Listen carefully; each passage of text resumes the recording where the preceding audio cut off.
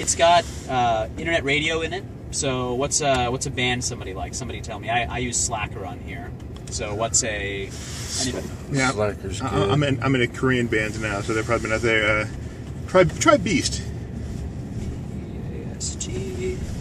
I should I should probably say I'm recording this on video, so uh, So avoid saying anything incriminating. yeah. Yeah, I'm assuming you know it's the first beast, but we'll see. Yeah.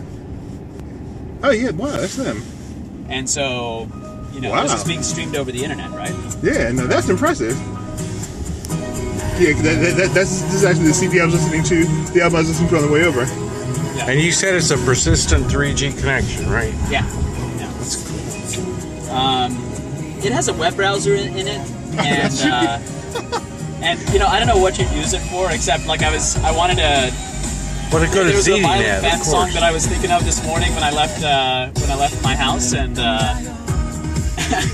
that I hadn't heard since high school. And uh, I looked up the lyrics for it, and it's called "Add It Up." And I was able to go into Slacker Radio and you know pull up "Add It Up" in uh, on Slacker Radio. Can you go back to that uh, the screen with the album cover on it? Because I want to get a picture of that because that's just interesting.